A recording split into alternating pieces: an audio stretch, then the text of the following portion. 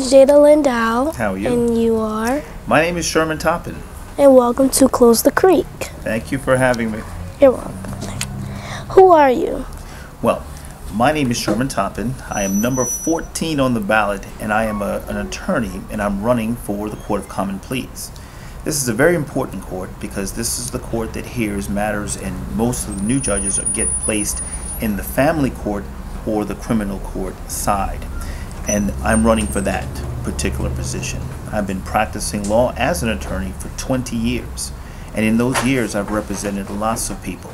And I realized just how important a judge is to the process of justice. And I want to be one of those new judges that help lead our city into a right place. Why do you want to be a judge?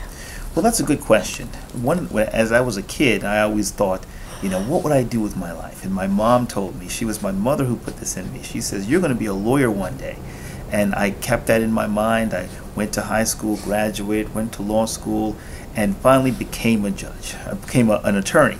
But as an attorney, you have a choice. So after 20 years, after helping so many people as a in matter different types of matters, I thought to myself, do I want to stay in this position or do I want to help people from the bench where I can help more people where I can not just represent a plaintiff or defendant, but I can represent justice. And whatever party is the right party to win because it's just, that's who I wanted to be. I wanted to be a representative of justice. And that's what makes me want to be a judge. And it's very honorable to be a judge because other lawyers look to you for decision making, and I feel that I make pretty good decisions.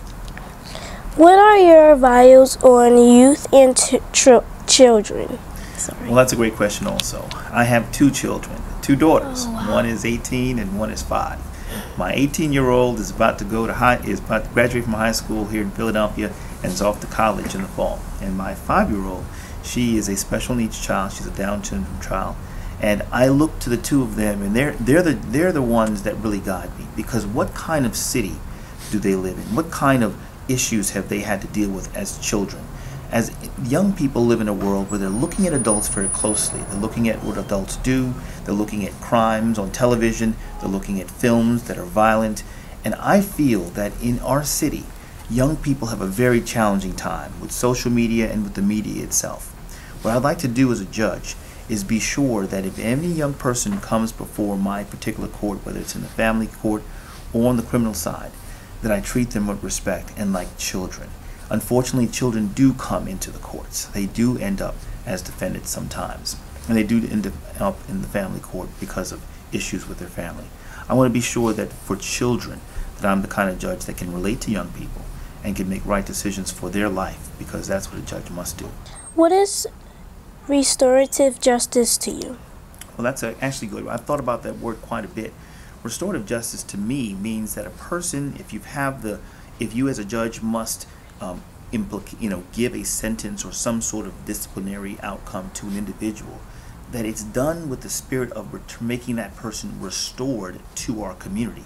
You can't just send people into a, a jail cell, warehouse them, and then there's no way back into our community. There must be a sense of a, a justice that works hand in hand with bringing that individual back into our community as a proper right citizen.